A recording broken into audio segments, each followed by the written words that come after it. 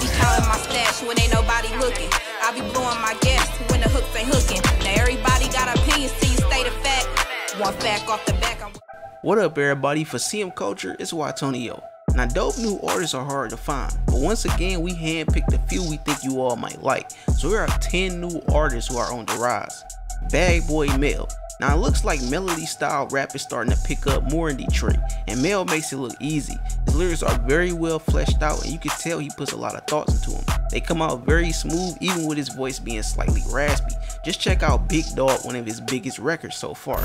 Sticking out the window with them straps up. Yeah, I'm on the west with it. Come slide on me. Chillin' in your hood, nigga. On on. Yeah, Glock 23. Yeah, LeBron. Honey Oso. Now we've mentioned her a while ago, but back then she didn't have much music to go on. Now she dropped plenty of records for you to check out. Her music is aggressive and it's explicit at times with songs like Crush on You, where the topic is mainly sexual, but usually she's more rough in her music with songs like Fuck Niggas. Down a bitch block, knock her clean out her socks. Guess they mad we on top, niggas sick, we keep a Next, we got Baby Mark. The grind has been relentless with this artist, and we've also featured him on the channel as well, and he's still been going at it. His music is a bit different. It seems he draw his inspiration from older artists as well as their generation, with the record Like Me having that old school sound to his production. Every day I wake up feeling like that man from Southside. Dropped out of college cause a nigga ain't got time to be balancing my dreams and reality. I know my favorite rapper making more than teacher's salary. Moving on, we got Shaudy Kash. He's an artist who really takes from the 90s. His style is almost rooted there, at least for now. Mainly in records like 95 Stoop and it's like that, you can hear those elements and not only the beats, but his flow as well. Boy, you niggas soft and ain't on nothing. Big Shaudy Kash, that nigga that told Insta Crush fucking been bout pay. Me and my ticket coming side to side. Try to plot you down. Chuckie CEO, who looks like to be the youngest on this list and already making waves and already has his own style and flow and order. Most notably in his record intros where you see him shine the most. Now it ain't no fighting. These niggas can't get a place, so they try to cheat. They can't breathe underwater just like Sandy Cheeks. Hey, hey, you know the policy. If you ain't 100 Boss Man J is another artist who's standing out. One of my favorite records of his is Fake Energy. It's smooth and it gets creative with the flow all throughout. Definitely an artist worth listening to. Everything on me, don't think the shit I do gon' pop for you because it worked for me. It used to be, tell me what the lick read. Now I'm ducked off in the birds, watching me on the big screen, scrolling through all of my DMs.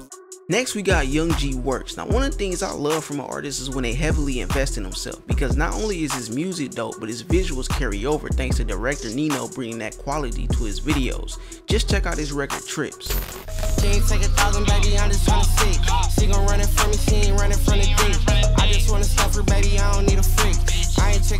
Now next we got E Will, a very creative artist. Right now his record Scrams is my favorite. It's a direct remake of Joyner Lucas's I'm Not Racist, but instead he debates scamming versus real life hustling. Check it out. No, it ain't right. I ain't work for. Like you was with me on them trips going store to store. Some Jehovah Witness shit, going door Next up, we got Chan Like Jackie, my new favorite female artist this year. She's unique, her style is like no one else's, she's all her own. Last year, she gave us a taste of what she has to offer with her song Often, and this year, she gave us a whole project self-titled, and what I think should be her next single from the project, Brokenese. Broken knee should be your last name. If it ain't born, it's born. I was never born cause I always had a foreign.